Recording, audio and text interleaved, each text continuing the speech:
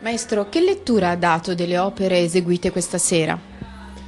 Ma una lettura il più possibile fedele al testo, anche se questo significa tutto e significa niente. Ogni interprete cerca di dare una lettura in accordo a quello che legge nella partitura, poi chiaramente la, la storia che hai alle spalle ti fa prediligere certi elementi rispetto ad altri. Chiaramente nell'opera di Shostakovich c'è questo grande solista Leonidas Kavakos, quindi la lettura è, è molto controversa, nel senso che c'è questa pace apparente di Shostakovich che vuole non dare fastidio al Soviet, al potere, e d'altro canto invece il suo dramma di non riuscire a dire quello che vorrebbe. Poi di fatto riesce a dirlo camuffandolo, quindi è un funambolo da questo punto di vista. Vorjak allo stesso modo, con questa sinfonia scritta nel suo periodo di tre anni in America, praticamente ci dice la sua nostalgia per l'Europa e quindi insomma è, è quasi un canto di,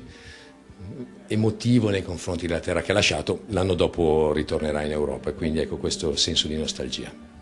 Le visioni che aveva prefigurato all'inizio di questa 49esima edizione si sono quindi composte, secondo il suo giudizio, agli occhi del pubblico dello Stresa Festival?